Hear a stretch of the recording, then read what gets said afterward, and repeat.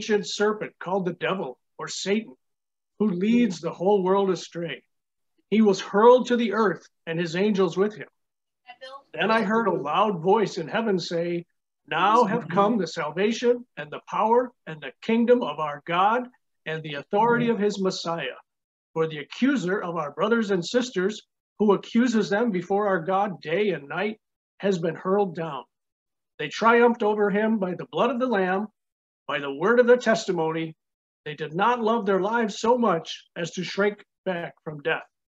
Therefore rejoice, you heavens, and you who dwell in them. But woe to the earth and the sea, because the devil has gone down to you. He is filled with fury because he knows that his time is short. You know, the imagery here is kind of terrifying. And to uh, have our Christmas service, you know, start with this message, uh, it's going to be an interesting service because, uh, truthfully, uh, you know, when we think of heaven, you know, we don't think of a violent battle taking place, right? And when we think of the baby Jesus, uh, we don't think about the violent spiritual battle that happens for our, our salvation, for our souls, right? Um, but the message here is crystal clear. There is a spir- spiritual battle on earth, and we can have victory over that battle. So let's read verse 11 again. It says, They triumphed over him by the blood of the Lamb and by the word of their testimony. They did not love their lives so much as to shrink from death. You know, these three elements show us how the victory was won and how the victory is won today. And today we have the pleasure of three powerful young men who are going to take each one of those sections and explain to us how that applies to us today because the battle rages, but the victory is ours, right? So we're going to have Jamie lead us off, and he's going to talk about the blood of the Lamb, what that means to him, and how uh, the blood of Jesus has given us salvation, has given us victory over Satan and his schemes. Uh, we have Terry will be coming up next. He's going to talk about the word of their testimony. Um, you know, what God's word, how God's word brings victory to us, how it separates all the confusion. Uh, we know that Satan loves to confuse us, right? But God's word brings us back, focuses right back to the truth. And uh, so Terry's going to share about that to help us with that. And finally, Bryce will wrap it up with a powerful message about not shrinking back, not shrinking back from death, not loving our lives so much that we don't do God's will. And um, so I think uh, it's a great opportunity for us to really uh, to look at that baby Jesus uh, in the cradle, but also uh, to realize that 33 years later, uh, what happened is what we really celebrate and what we are grateful for and uh, what brought salvation to us. So I'm going to turn it over to Jamie and we'll have a great sermon here. Perfect. Thank you so much, Bob. And good morning, my joyous and victorious friends and family. You know, with, with Christmas approaching, we have much to celebrate about, right? Uh, this is a time to unite with those closest to us, you know, our closest relatives, our closest friends. And it's a time to eat, you know, to laugh together. Uh, but more importantly, it, it truly is a time to be grateful. Be grateful for all the blessings God has poured out unto us. And we know that the greatest of which being the gift of Jesus Christ, our Lord and Savior. Please turn with me to First John in chapter 1. And now we know that joy comes from the Lord. Amen. And it's because we are united that we can better understand. But here in First John, I wanna I wanna shed some light on what that truly means. So let's pick it up in here in First John, starting in verse four. First John, chapter one, starting in verse four, and the Bible reads, "We write this to make our joy complete." And we'll stop right there. They're writing this to make your joy complete. So what we're about to read is pretty important here, amen? Because I want to find out what makes joy complete. And uh, so I did a little bit of research, right? And uh, so the, the Greek for the word joy is chara, chara, which means cheerfulness or calm delight. Now, not to be mistaken with happiness, because happiness can be fleeting, right? It can it can fluctuate. It, it's temporary. But but this C H A R A hara joy We know it comes from the Lord, which is a, a different type of of of uh, sensation we we can experience, right? But here, let's uh let's continue on. So we'll pick it up in verse five, and we'll read all the way to verse seven. And the Bible reads, "This is the message we have heard from Him and declare to you: God is light. In Him there is no darkness at all. If we claim to have fellowship with Him and yet walk in the darkness, we lie and do not live out the truth. But if we walk in the light, as he is in the light, we have fellowship with one another. And the blood of Jesus, his son, purifies us from all sin. My one and only point for you is the joy of the fellowship. You know, I grew up living under my parents' household all my life 20 years. I'm 21, amen. it's interesting because the day after my 21st birthday was the day I moved to the brothers' household in the New Jersey region. And uh, I, I, did uh, become officially a part of the church in 2019. I'm grateful to God that I was finally able to meet him in his entirety. Um, but, you know, upon arriving to the brothers' household, you know, I, I felt a little out of place. you know, there everyone there, everyone there was older than me and a working man. You know, uh, I on the other hand had just left school, out of work, and I moved out of my parents' place, which I was so accustomed to for my whole life. Um, but I did it because I knew I knew God was calling me. I didn't really understand what I was getting into, but I knew God was calling me. Amen. And uh, so you, you give it some time. Uh, after living there for about three quarters of a year, I learned some valuable things. And these are some, these four, four things that I want to share with you from what I learned at my experience at uh, living in a household filled with godly men. The first of which is we devote ourselves, or we devoted ourselves to the apostles' teachings. And what did that what did that mean? What did that look like? Well, we read the Bible together. We studied the Bible with others together. you know, we went to church together, we sang together, we lived for God together. That's John 3:30. The second thing we devoted ourselves to was prayer. We prayed for each other's families. We prayed for those studying the Bible. We prayed for goals and visions. We prayed in the morning and at night. We even prayed before and after meals. Amen the double blessing, that double portion. we prayed continually, and that's in First Thessalonians 5:17. The third thing we devoted ourselves to was the breaking of bread. We reflected on the cross together. We shed some pain-filled tears. We carried each other's burdens, and we took communion together in remembrance of Jesus. That's Luke 22, 19. And this final thing I want to hone in on. The last thing that we devoted ourselves to was the fellowship. I love the fellowship, amen. There's nothing like it. I mean, we laughed together, we worked out together. I mean, we checked up on each other, we encouraged each other. We just loved each other. And we know that's John 13, 34 through 35. Now, I'm gonna keep it real. I'd be lying if I said that all was well all the time. You know, all was roses and daisies. That I'd be lying if I said that. But even through the tough times, we got through because of one thing only. We walked in the light together. When a brother was in sin, you knew immediately. Why? Because when you live with someone, you learn who they are very quickly. Now, let me tell you about how Satan works when you're in sin, you try to disguise it. And if you're like me, you might have tried to compare it, try to minimize it. You know, you might try to convince yourself that it's not that bad. You may even try to ignore it. But the truth is, it never goes away. The longer you carry your sin, the more obvious it becomes. That's Galatians 5:19, and that's something I had to learn the hard way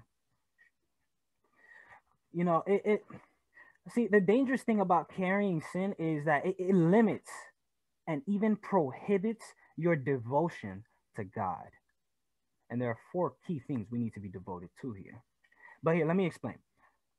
You see, when you're when you're in sin, your mind is distracted and your heart is pulled away from God. And, and now, if your heart is pulled away from God, then that means your heart is also pulled away from your brothers and sisters, from your wife or husband, even from the people who care for you deeply, from your spiritual parents. I had to learn that the hard way. I had to confess immediately because the longer I held on to my sin, the worse it became.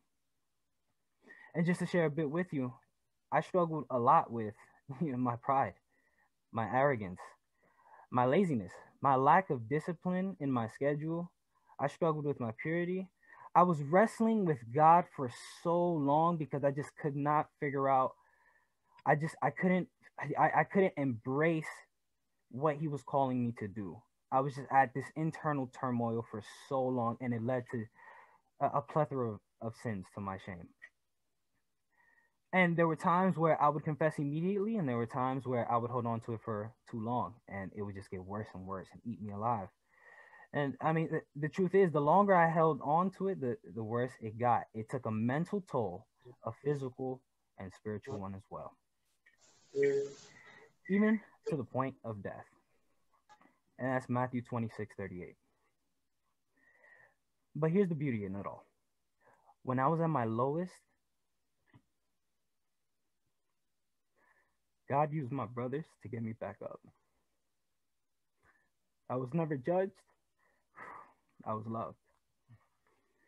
It wasn't until I was completely open, completely clean, that I was able to focus on God. And and once I was able to focus on God, I was able to see the blessings that He had in store for me. He handed me a job when I needed it most. He taught me how to love others better from living in that household and you know studying the Bible with so many people. He gave me an absolutely astronomical girlfriend who is completely out of my league, amen. but uh, I was able to just focus on him, and I, I was just able to see all the opportunities he's given me. I was able to see just just his love being poured out from everywhere, but that the sin was blinding me from it all. So to conclude, I, I truly believe that if you hold on to any little bit of sin, as small as it is, it is preventing you from fully being devoted to God. So my only challenge is this get clean confess everything to your closest spiritual family member. Whether that be your spiritual parents or your closest brother or sister in the kingdom, get all the ugly, get all the nasty out. Please get it out. I promise you, Jesus promises you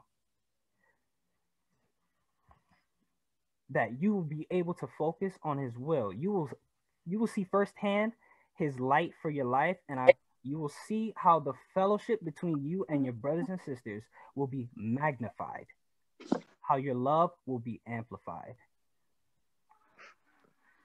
And to finish out, just want to read this one scripture here. In First John chapter 1, and let's just drop it down to verse 9. The scripture simply says, if we confess if we confess our sins, he is faithful and just and will forgive us our sins and purify us from all unrighteousness. Let's go after it and let's watch God be faithful and be a God of his word. Thank you and amen. wow, bro. That was absolutely amazing. well, good morning, church. I'd like for you guys to turn over to John 5. While you guys are turning over there, looking back at the verse um, for today, it says, They triumphed over him by the blood of the Lamb and by the word of their testimony. So I'm gonna be honest, English has not really been my strong suit. I mean, sometimes I can struggle to understand words, spell them, even pronounce them. You can ask Mario. I'll be blabbering on the PlayStation. Sometimes I don't even know what I'm saying. so how about this? let's go up and, and look up what testimony means. It says a testimony is evidence or proof provided by the existence or appearance of something. Okay. So if we break that down, then that pretty much says that testimony basically proves whether something is true or real. Interesting. So then, biblically, what will we be trying to prove is real or true? What or who needs to be brought to others and shown that is the truth or real? Let's check in John 5 31 to 34. It reads, If I testify about myself, my testimony is not true. There is another who testifies in my favor, favor, and I know that his testimony about me is true. You have sent to John, and he has testified the truth. Not that I accept human testimony, but I mention it so that you may be saved. The title of my lesson today, guys, is Bear Witness to the Second Key of Salvation. If you haven't noticed, the three points that Jamie, Bryce, and I are going to go over are ways to beat Satan. Did you hear that? Beat Satan. At the beginning of the verse 11, it says, they triumphed over him. Come on, guys. I think we all want to triumph over Satan. So, as we see in John 5, biblical testimonies about Jesus, Jesus says that he knows that what testimonies about him are true. He also says that they are the truth. Guys, you have to understand that true testimonies about Jesus show everything that he is about. They show the forgiveness, the love, the passion, the struggles, and the change that Jesus truly came to bring to this world. How do we know this? Well, if we look at the best testimony known to man, what do you think that is? The Bible. The whole Bible is a testimony about Jesus, his life, his goals for mankind. It says in 1 John 5 9, we accept human testimony, but God's testimony is greater because it is the testimony of God, which is given about his son. The whole Bible is God's word, and he uses his word to talk about his one and only son. I have one point for today. It is called sharing salvation. We must share our salvation about Jesus. I mean, we must share our testimony about Jesus because with Jesus, we can fight off any forces of evil. With Jesus, you aren't focused on the world. You don't rely on your own strength, and hate melts away. The point of our testimonies, as it said in John 5 and First John 5, is to save others. Human testimonies are necessary and accepted because they do save people. They wake people up and allow them to truly see where they are at. Is your testimony waking someone up? Um, let me talk about two weeks ago at a Friday Night Devo. Um, Jordan Swann had us um just all the brothers get pick up like random scriptures that the sisters gave to us, and then we just had to preach a sermonette right off it. Now let me tell you, um, that it was way more difficult than than it sounds. Like we literally had like five minutes as someone else was going to go and do it, and then as the brothers are going off, like, bro, the brothers were amazing. I don't know how we have so many fired young Christians being able to just go out and preach the word. Um, as I go on, I don't remember what I was talking about, but I do remember that I was sharing about just how this year has been a struggle for me. And like just not even the past few weeks I've been going through mental just lock and everything. Like I really, I was just like trying to keep myself away from talking to people and keeping myself almost away from the church. And then after getting open and talking about that and then like just explaining like what I was going through, after I finished, this girl who was new onto the Devo, she had someone had invited her out. She unmuted herself and she said, After today, I want to start studying the Bible.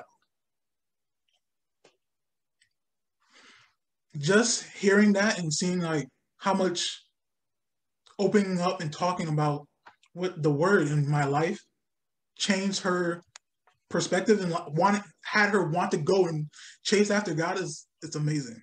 It shows that we us opening our mouths really does change people. And then let me talk about Mari. I feel like I talk about Mari all the time, but yo, Mari's my best friend, and it's just I don't think Amari would be where he's at now if I didn't open my mouth and ask him about coming out to church. And it took it took a lot. Literally, I would speak about it and then I wouldn't say nothing. I would speak about it, wouldn't say nothing. But it was the fact that Amari saw the changes in my life. He saw the things I was doing. And when I actually built the courage to truly ask him to start studying the Bible, he was like, Yeah, sure. And he told me that he just saw so much like it was like I just out of the blue was just baptized. I was going to Devos and everything. And it just shows how much change I had in just over a year. And just seeing like the, the change in Amari. And I didn't realize so much stuff that he was going through at school. But to be able to help him come to Christ and rebuild his connection with God, I've seen him has done blessings to not only his mental, but just his trust and his love for everybody. I have one practical. Share your faith. And when I say this, I don't mean how you've been doing it for the first 11 months of the year. I mean with passion, as if that person's life depends on it. Your testimony should be just as emotional as your last words to someone. You could be the deciding factor in a person's salvation and you're not emotional about it? Get out of here. If you if you could save somebody's life wouldn't you want to do it? I have two challenges if you haven't had a visitor or haven't been fruitful in a while i challenge you to reevaluate how you are sharing your faith and how you are doing bible studies for 31 days starting now when you are sharing your faith, give it your all. Put your whole heart into each person you're sharing with, you're studying with, or discipling. If you aren't feeling sad, angry, like just emotionally tired after someone, after you're going after somebody and you're just, oh my goodness, I had to do like two studies back to back. I'm so tired. Oh, we, she had like 50 questions, but she, she said she still want to study look after you put in all your heart and your emotions after that, and that person is going to come after it because they're going to see what you're doing, and they're going to be like, all right, I'm, if they're going to keep putting all their heart into this, then I have to. Trust me. Second challenge: relook at your past and now. Fall back in love with what Jesus has done for you, and then do that every time you get a chance. When something comes up in life, and Jesus helps you through it, boast about it. Share how much Jesus is doing in your life whenever you can. Why are you hiding what Jesus is doing for you? When if listening to Jamie and just un- hearing just how much the brothers helped him in the household, that's amazing. That just shows that when we keep stuff to ourselves, it doesn't help. But when we go out and we talk and we go to our brothers and we get love, it really helps us. So that also means that when Jesus is helping you and you say something about it, it's going to help somebody else.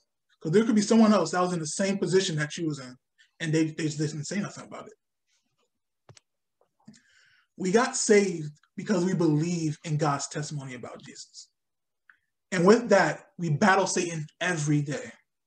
If we share our testimony, and get others to believe in God's testimony, we will have an army to fight and conquer Satan.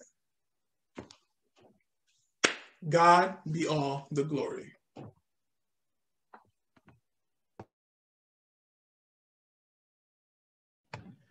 Amen. Thank you, Terry. Well, I want to read you guys something interesting here. Now, check this out. We've read, uh, Bob read Revelations 12, right? He read Revelations 12, and went, went through 11, right? But check this out. This is the message version of that scripture. In Revelations 12, it says in verse 11 in the message version, it says, They defeated him through the blood of the Lamb and the bold word of their witness. They weren't in love with themselves. They were willing to die for Christ. I mean, just think about that for a minute, right? They were they weren't in love with their lives, but they were willing to die for Christ. My title of my lesson is die so that others will live. Die so that others will live. That my first and only point is die so that others will live. Fair enough, right? Now, I, I made a little picture, a, little doodle here, right? Now, my daughter can't draw yet, and I, am looking forward to when she can.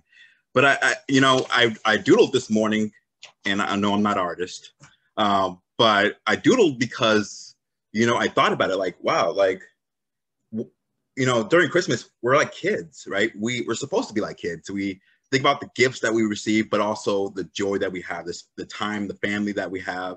And I thought, well, as kids, you know, we the kids have so much joy. They have so much life into in, in them, right? But they also have so much like inspiration around them, right? I mean, they they look, they turn on TV and they look at heroes like Superman and Batman and all these different characters that they they want to be like, right?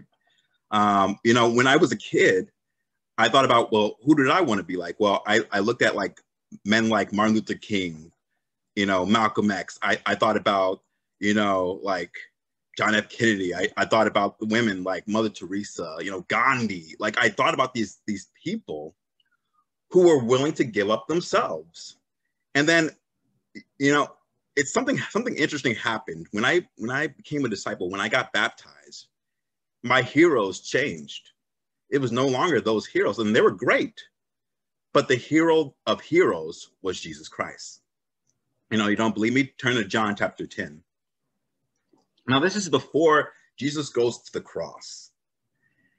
And the, the sacrifice that it took, right? Just to get out of yourself, to be willing to die for people that, you know, you'll never meet.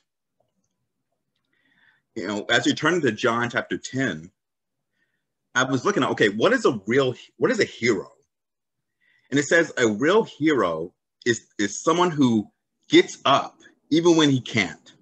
A hero is someone who does what must be done and needs no other reason.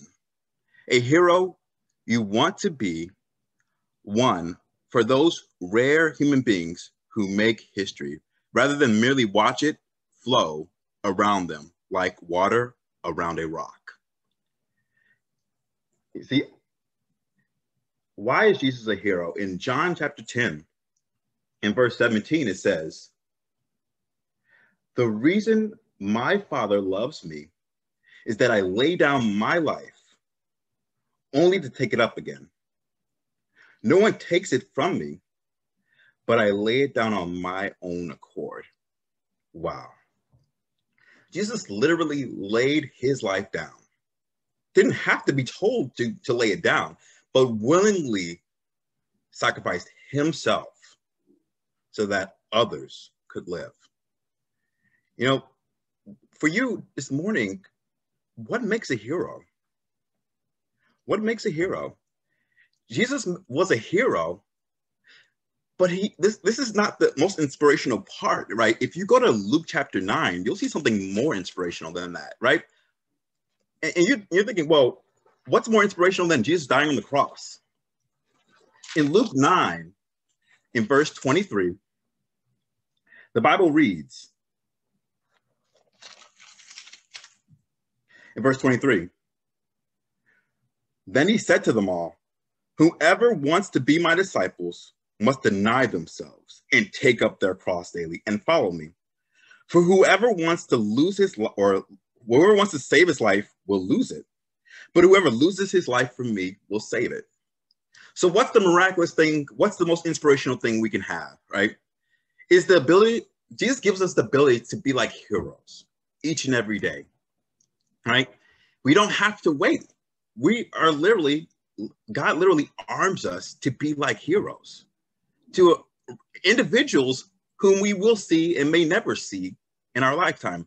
But God gives us the opportunity to be heroes each and every day. You know, I was watching this movie, um, Rwanda, Hotel Rwanda, and I was so inspired by this, the, the main character, Paul, who at the beginning, he he loved his family. He takes care of his family. He, he does all these favors for the, the, the, you know, those who he felt like, well, they'll take care of me when things go bad in, here in Africa, right? And this is in the middle of uh, uh, what would soon be a genocide. And yet, in the movie, you see his transition from the character who sacrifices only for his family to a guy who willingly sacrifices for those around him. You know, it's fun. Fun fact: when I actually look up the story, he saved over a thousand people alone. Like alone, just a thousand people.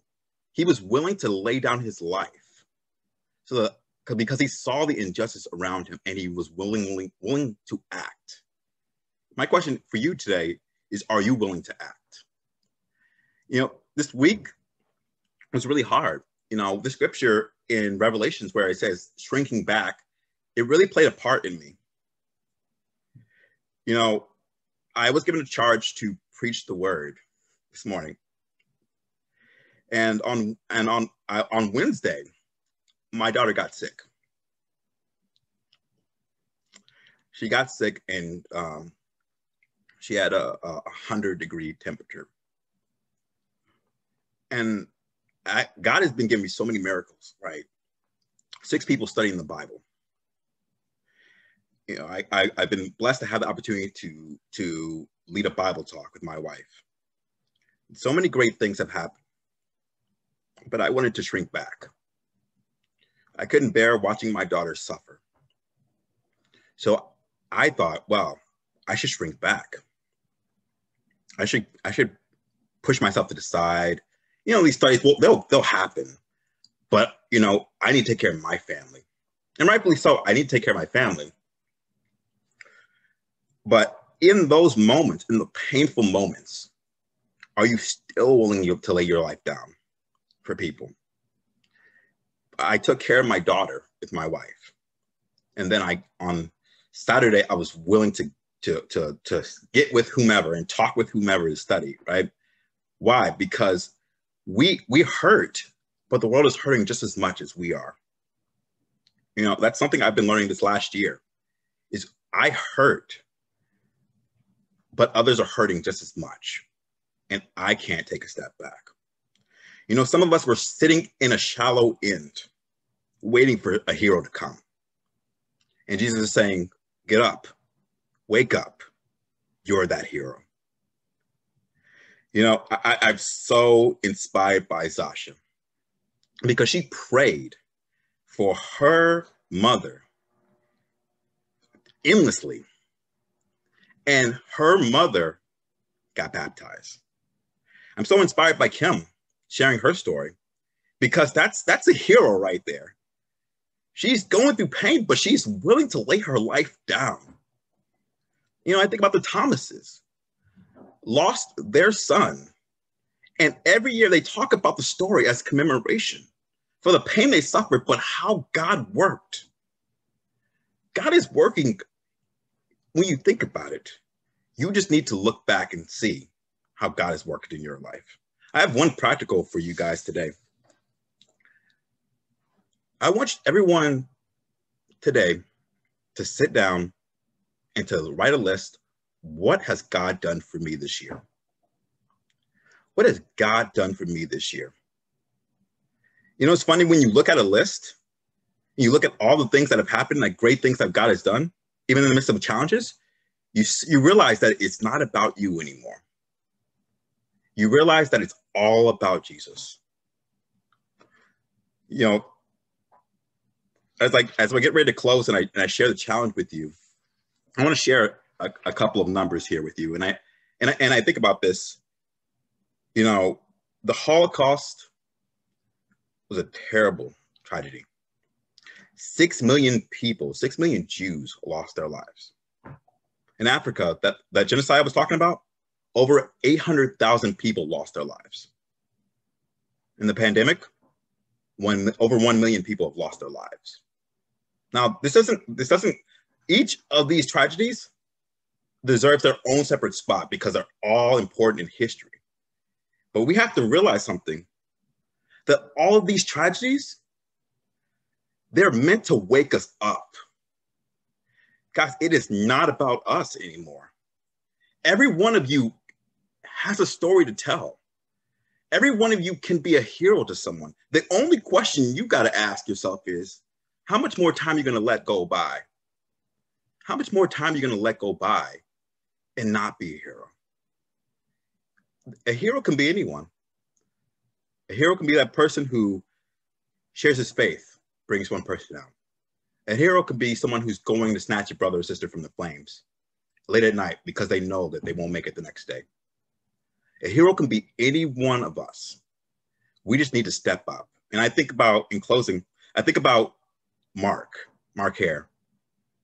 There was a brother that you knew was super dedicated. He was dedicated, he loved God.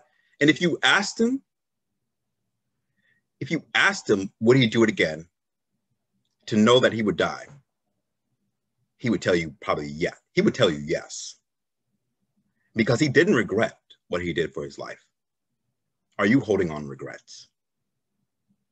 My challenge for us as we close out is how much time are we going to waste? Syracuse Church, we are not the church, the, little church that can, could. We are the little, the little church that will become the big church that can and will. And so my challenge to you, stop wasting time. Let's get up, let's get moving, and let's go be heroes to the world. Thank you. I love you. To God be the glory.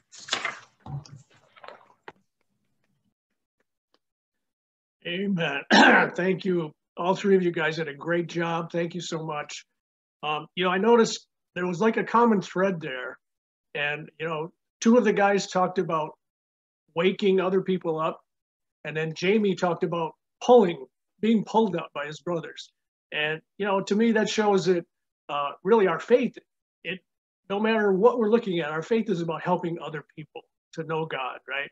Uh, you know, I appreciate Jamie's point about the joy of fellowship, um, that the brothers that surrounded him helped him uh, to overcome all of those challenges and over uh, that he could see that um, how sin was prohibiting his growth and how it prohibits all of us. And, and it really causes people to uh, uh really just shut down.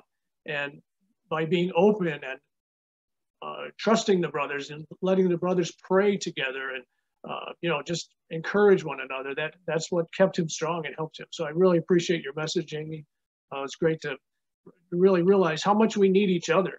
And especially you know we're doing it over zoom right now uh, but you know let's pray that uh, by the end of the year we'll be all back together and uh, but either way we need each other we're able to connect whether it's through Zoom or personally, we need to be there for each other. That's what's so important the fellowship.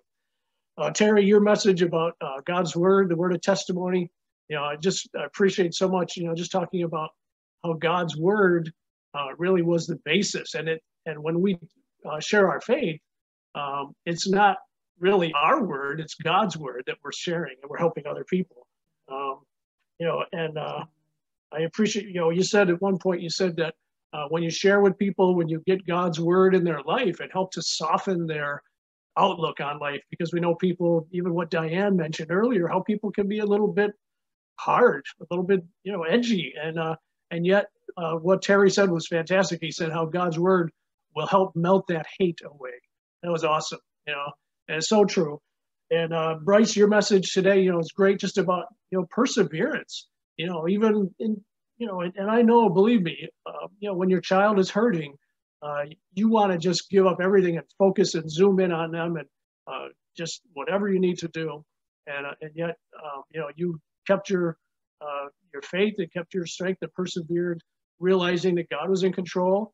And, um, you know, it's just a great example about denying ourselves and, uh, and putting others first, realizing what, what we're, what we're all about is, uh, you know, we have God's word. We have the blood of the lamb. Uh, we have the knowledge of what it, what happens when we shrink back. Uh, but when we take that and put it into action and help others, um, you know, that's what it's all about. And that's what, uh, you know, God is calling us to, you know, not just keep our light under a lamp, but to bring it to the world. And, uh, you know, so you guys did a great job. I really appreciate you, all of your messages. And um, we're going to close out with a fun uh, Christmas song here. Uh, but uh, once again, just a Merry Christmas to everyone. Thank you for being with us today. We're going to have an awesome song. And um, I love you guys. Merry Christmas. Merry Christmas. Hey, everybody, we're going to sing.